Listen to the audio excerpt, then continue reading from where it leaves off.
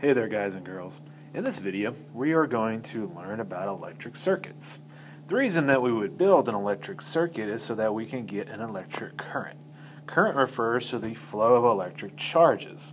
You can kind of imagine electric current as kind of being the charge equivalent of a water current, like in a river or a pipe or something like that. We're going to see a lot of analogies between those two examples. The way that we would measure a um, electric current is in a unit called amperes, named after a French dude, and the device that we would use is called an ammeter. We're going to use these in class. I'll show you a picture here in just a second. The symbol for current is I, and its definition is simply charge over time. One amp would be a coulomb of charge per second. So this device is called a multimeter, when we set it to that side, we're going to see these in class, we can then use that device to measure current. When we set it to the opposite side, like over in this area, it would measure something called electric potential instead. We're going to learn what that is here in just a second. So in order to have an electric current, we need to have two things. The first thing we have to do is something that's going to give charges energy. So we're going to refer to that as a source of electric potential. Electric potential is kind of like a measure of energy. Because the unit for electric potential is the volt, the electric potential is often referred to as simply voltage. We have a bad habit of naming things after their unit sometime, so when we say voltage, that's electric potential. The definition is energy per unit charge, and so that's why a volt is a joule per coulomb. A good example would be a battery. Battery is a way to provide something with electric potential.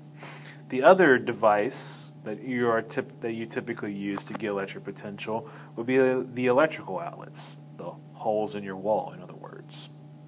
So if we kind of draw a simple picture of a battery, like the, just the positive half of the battery, um, positive charges will repel each other, and so one positive charge in that battery has a bunch of energy because it's repelled by the other positive charges. They can do work on that charge and push it as long as it's got a path to move. So again, we measure potential in volts and we use a device called a voltmeter, which is the other side of the uh, multimeter that I showed you a few seconds ago. The second thing that we need in order to have an electric current is a conductive path. Charges can only move through certain materials. We, we call materials that charges can move through conductors. Typically, metals make good conductors. Silver and copper are the two best conductors that we typically can work with. So if we kind of draw a picture, something like copper, charges can actually move around through. So you can kind of think of a piece of copper as being a pipe for electric charges. Whereas something like rubber, the charges aren't free to move. They're basically held in place inside the atoms, and so we call those things insulators. And so you may talk about insulation for a wire. Those things are typically made out of rubber, and those are there because charges can't move through them and we'll talk about why that might be important later on.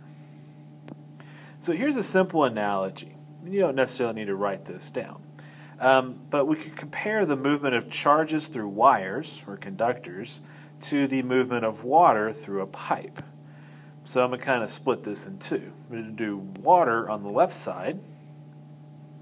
I'm going to do electricity on the right side.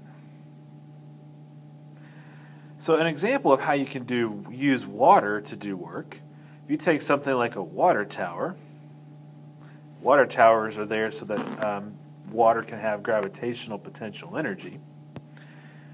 That would be kind of like a battery. Battery gives charges electric potential energy. The difference between the two is that there's two sides to a battery, whereas there's really one side to a water tower. That's because there's two kinds of charge, positive and negative, whereas there's only one kind of mass. And so there's a slight difference there. And so if we wanted to make water move, we would try to move it through a pipe. Whereas if we're going to make charges move, we're going to make them move through a conductor. Typically, we would just go grab a wire. So we could put something like a water wheel in the path of our moving water, and then the water would turn that wheel. The same way we can put light bulb in the path of electric charges, and the light bulb will cause the filament to heat up, which would then make it glow. There's other devices we could put here instead of a light bulb, like a motor, for example, um, and we'll talk about those things later on down the road. So in the process of causing the water wheel to turn, the water loses energy, meaning it would slow down. And in the process of making a light bulb glow, the charges would lose electric energy. And so we're converting energy from one form to another. In both cases, it would be a form of kinetic energy because heat is a form of kinetic energy, it's the movement of stuff. And so you can kind of think of charges moving through wires as water moving through a pipe, and you can think of a glowing light bulb as being a um, example or analogy to water turning a water wheel. And then in the end, there would be no energy left over because all the energy would be lost to either the water wheel or the light bulb. Okay, here's where you want to start taking notes again. The way that we can measure how well an object conducts electricity, the flow of charge, is through the term resistance. The better a conductor is, then the lower its resistance is. So resistance is exactly what it sounds like, resistance to flow of charge. Um, the way that we define resistance is the current per volt needed to make it move. We give it the symbol R, pretty obvious. And then the unit that we use to measure resistance is called the ohm, named after a dude named Ohm. The symbol is kind of like a beat up horseshoe. That's actually the Greek letter omega. And so you may see that on devices like stereo speakers. It's a measure of current per volt. So when you put them in a circuit, resistors are going to do two things. Number one, they're going to reduce the current. The bigger the resistance is, the smaller the current. And so there's a direct relationship. The current is equal to the voltage, so bigger voltage, more current, over the resistance. Bigger resistance, smaller current. This relationship is typically referred to as Ohm's law. That's why the unit ohm is named for that guy. Came up with that law. The second thing that we need, or that a resistor does rather, is it converts the electrical energy to thermal energy. The rate at which this happens, which you convert electrical energy to thermal energy, is given by the equation P equals I times V. Remember, power is the rate at which energy is transferred, and so the rate at which it's transferred would be power. The amount of energy that's transferred to thermal energy, remember that power is just changing energy over time. And so a light bulb is an example of a resistor because it takes the electric energy, converts it to thermal energy. If we take that P equals IV equation and we um, substitute in Ohm's law, we could rewrite it in two different ways. We can either replace the I with V over R and make it look like V squared over R, or we can solve it for V. If you did that, be V equals IR, and then we could substitute that in and make it look like P equals I squared times R. And so there's three different ways to write that equation, just combining this with that. So what does the resistance of an object depend on? Depends on three things. The first thing is just what it's made out of. So we could say the material. Um, and the way that we quantify that is with a term called resistivity.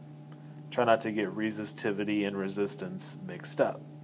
And we can symbolize resistivity with the Greek letter rho. Kind of looks like a curvy P, if you will. The second factor is the length. The longer something is, the higher its resistance. And we can symbolize length with the letter L. Um, and then the third factor would be the width or area of the object a wider object would conduct electricity better than a skinny object. So to kind of draw you two pictures, let's suppose we have a, an object that's long and thin like that. So that area would represent its width, and this distance would be its length, versus something that looked more like this. that was short and wide.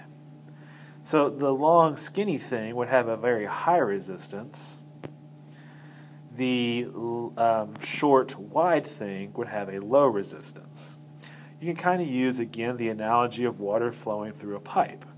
Water flowing through a skinny pipe is not going to be able to move as fast as water flowing through a nice wide pipe. And so you can kind of use pipes and straws as analogies for resistors. So we can kind of like combine these ideas into an equation. We can say that the resistance is equal to the resistivity. And then longer resistors have bigger resistance, so I put that on top of a fraction. The opposite is true of the width or area, and so that would go on the bottom of the fraction. The way that we can communicate to each other what a circuit would look like is through a circuit diagram. There are some symbols that we use so that we're not always having to draw out batteries and light bulbs and things like that. A battery is simply two vertical lines, one longer than the other. The longer end of the battery represents the positive end. Let me draw a better positive sign. and the smaller end of the battery represents its negative end. So like that. Uh, for most things that we're going to do in this class, the polarity of the battery doesn't matter. Like they work either way you connect them. But that's not going to be true for more complicated situations later on down the road. And so just kind of an important thing to realize right now. A resistor we could draw like that. A voltmeter is just a circle with a V in it. An ammeter is just a circle with an A with it, A in it. A switch, like a light switch, would be like a break in the circuit, so you can kind of imagine that this part could swing up and down, but we only draw it like that. And then a wire is simply just a straight line. When we draw circuit diagrams, we want to try to draw these things so that they're easy to understand as possible. So the convention is that we draw the wires such that they're perpendicular to each other and that they don't cross. So for example, if we just connect a light bulb to a battery and a switch, there's our battery, there's a wire connected to a switch, connect the light bulb to the other side of the switch, and then a battery or a wire connected back to the other side of the battery so that we have a complete conductive path. If we were to break that circuit at any one spot, like right there for instance, then it would no longer be a complete circuit and the light bulb would not light up anymore. Same thing is true if we were to open the switch. And so if we open it, we break the circuit, charges can't move through there anymore. So when we connect meters, we're going to use multimeters in class to measure these things. The thing that we need to know is that ammeter, which measures current, has to be connected in part of the same circuit loop as the thing that's being measured. We say that this is in series. So a picture might look something like that. Just connect it so that charges move through the resistor and then the same charges move through the ammeter. And so we're going to connect ammeters in series, and I'll show you guys that in class. Voltmeters, which measure electric potential or voltage, um, are connected differently. They're connected so that they are across the thing, the resistor, that is being measured. We say that that is in parallel. And so we draw them so that they are part of different loops so that charges that go through the resistor don't go through the voltmeter. And we'll understand why that has to be a little bit later on down the road. So for right now, let's just jot that in our notes, and when we actually start setting things up, then it'll make a little bit more sense. Okay, let's do a quick example together. Let's suppose we took some random resistor and we connect it to a 9 volt battery and we measure the current through it with an ammeter. Let's say we measure it to be 0.25 amperes. So let's draw the circuit and then let's figure out the resistance of this thing. So there's our circuit, just a light bulb connected, or resistor rather, connected to a battery. An ammeter would go someplace like right there, so that any charge that goes through the resistor also goes through the ammeter. And then the voltmeter would be connected so that it's part of a separate loop with the resistor. And so we can find out how big the resistance is by using Ohm's law. Um, so the first thing you might do is like multiply both sides by R to get rid of the fraction. And then divide both sides by I so that resistance is by itself. And then just plug in your numbers. And so you would get something like 36 volts per ampere or 36 ohms. So let's suppose we knew the dimensions of this thing. Like let's say it was a centimeter long and 0.006 square meters wide. The question is, what is the resistivity of the material? So like, what is the stuff made out of, in other words? So if we take our R equals uh, rho L over A equation, solve it for rho, we get something like that. And then just substituting our resistivity would be something like 21.6, and then the units left over would be ohms times meter. That would be our unit, because the meter squared and this meter would cancel out. Ohm per meter, or ohm times meter, would be left over. So one thing that you might want to do, just before you get to class next time, is find the PhET Circuit Lab. It's a little simulator that you can play with, which may kind of help you understand a little bit better. Till next time, ta ta.